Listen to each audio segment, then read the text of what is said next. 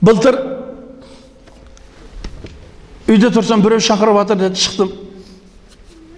Қарасам бір ұзын бойлы жігіт әкесімен тұрған екен амандастым.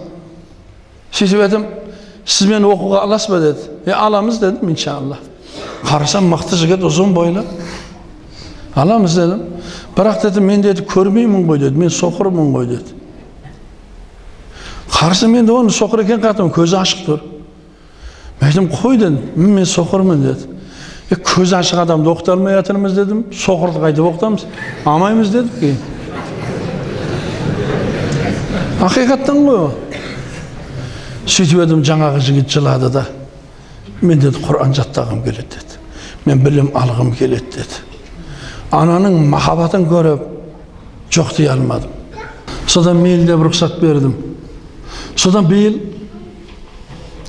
оқудың ақырында мен ол әңгімені өзіміздің жұмада айтқам. Осындай осындай бір соқыр бала оқимын деп келді ей көзі ашық соқырлар дедім. Ей көзі ашық соқырлар біздің медресеге бір соқыр бала мен құран жаттаймын деп келді Ес, естіңдер менен құлақ салыңдар.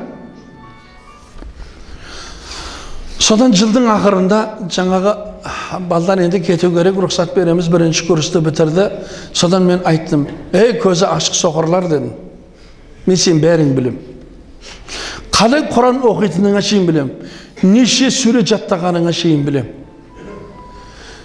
бірақ қараңдар бүгін мен сендерге айтқан соқыр бала үш пара құран жаттапты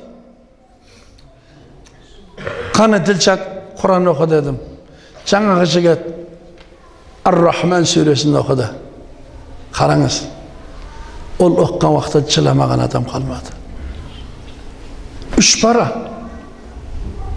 ө жігіттер көзіңіз ашық отыр міне біріңіз дөкейдің баласысыз біріңіз бизнесменсіз біріңіз әкімшілікте істейсіз не қатырдыңыз неше пара жаттадыңыз жоқ құран жаттау парыз емес пе тақуа турасында сөйлейтін болсақ жиырма төрт сағат сөйлейміз бірақ амалымыз қайда әрқайсымыз ойланайықшы міне мен өмірде болып жатқан оқиғаны өзімнің жанымда болып жатқан оқиғаны айтып жатырмын ағайындар сіздердің жақсыларыңыз құранды үйренушілеріңіз және үйретушілеріңіз деді неге жақсылардан болғымыз келмейді ағайын неге осы хадистерге аман қылғымыз келмейді неге біз сол жақсылардан сол тақуалардан болғымыз келмейді? Неге бүтін өміріміздің барлығын надандықпен өткізіп жібергіміз келеді?